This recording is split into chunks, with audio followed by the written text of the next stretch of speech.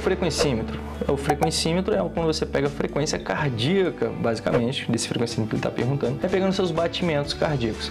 Os batimentos cardíacos são uma boa referência para você saber o quanto de desgaste que você está promovendo no seu organismo com aquela atividade, o quanto que o seu corpo está sendo estressado, porque quanto mais o seu coração bate, quanto mais rápido ele bate, mais energia o seu corpo está necessitando, beleza? E com isso, você tende a estar gastando mais energia, está se tornando um exercício mais intenso ou menos intenso. Com o frequencímetro, então, você consegue estabelecer zonas de esforço. A partir dessas zonas de esforço, você consegue controlar melhor o tipo de desgaste que você quer fazer, que você quer realizar. Se você quer fazer um treino mais intenso, um treino mais tranquilo, para você variar bem, para você saber exatamente que tipo de estresse você está promovendo no seu organismo. Mas lembre-se, uma boa utilização do frequencímetro, é interessante que você realize testes, testes de esforço, testes, testes cardiorrespiratórios para você justamente saber onde que estão essas zonas de frequência cardíaca para você ter uma melhor ferramenta em suas mãos. Você pode fazer isso com um médico ou então com um fisiologista, ok?